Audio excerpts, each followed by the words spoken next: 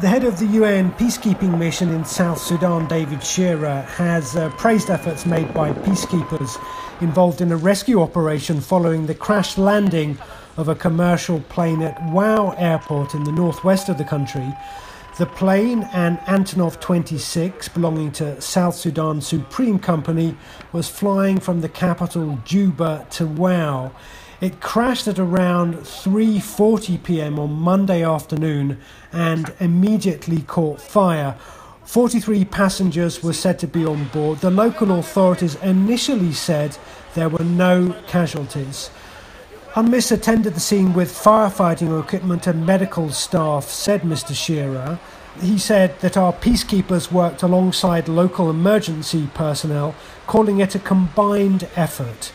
The UN mission, he said, stands ready to assist the people of Wau. Peacekeepers from Bangladesh, Nepal, and China were involved in the rescue effort.